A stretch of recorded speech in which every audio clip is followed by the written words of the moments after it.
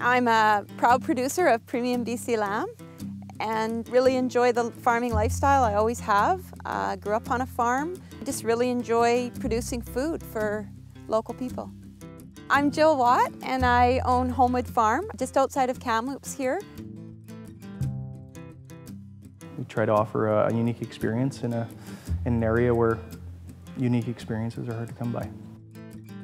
My name is Tyler Leeson. I'm the executive chef at the Kingfisher restaurant at Halcyon Hot Springs Resort. We mostly specialize in local food cooked in a Mediterranean style. With the premium BC lamb, we put it on our feature sheet almost every week, so it is served in a variety of different ways.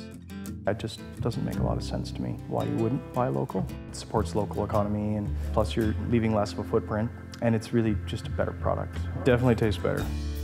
I've talked with Jill right from the beginning when I started uh, looking into BC lamb. I'm mostly on the phone, but I did get to go to the farm a couple weeks ago for the first time. I walk in and she's got five dogs running around her property, you know, and that's just the type of person that she is. She cares about the animals and she cares about what she does. And the relationship to me is really quite important. You get to put a face to the brand.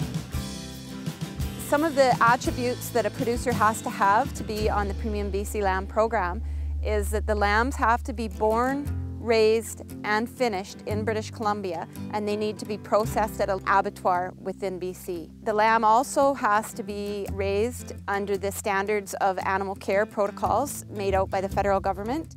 The other protocol is quality. The abattoirs actually grade each of the lambs. It has to be a certain quality before it can get the Premium BC Lamb stamp on it. That way, when you see that stamp in the stores, you know that it's passed that quality check and you know it's passed the animal care. It'll grow exponentially if we have the consumers behind us. The more consumers mention it, the more chefs will get on board, and it's just, it's just a wonderful thing. It's good for food miles, it's good for animal care, and there's nothing that'll spur the BC economy more than local food production.